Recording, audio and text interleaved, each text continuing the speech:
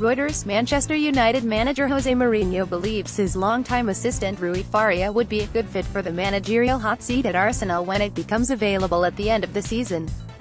Soccer Football, Premier League, Manchester United v Arsenal, Old Trafford, Manchester, Britain, April 29, 2018 Manchester United manager Jose Mourinho walks off at halftime action images via Reuters, Carl Recine British media has reported that the 42-year-old Faria is on Arsenal's shortlist to replace Arsene Wenger, who will lead the North London club after almost 22 years in charge.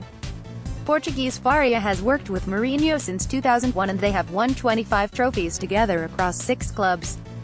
When asked if his assistant would be a contender for the Arsenal job, Mourinho said, I think so, yes. I don't know if he wants to be a manager. You ask me if I think it would be a good fit and I say, yes. And I say it because more than my assistant, he is my friend. If my friend has the possibility one day of a big job I would help him to pack and to carry the bags and to wish him luck. I met him when he was a kid at university and we worked together for 18 years.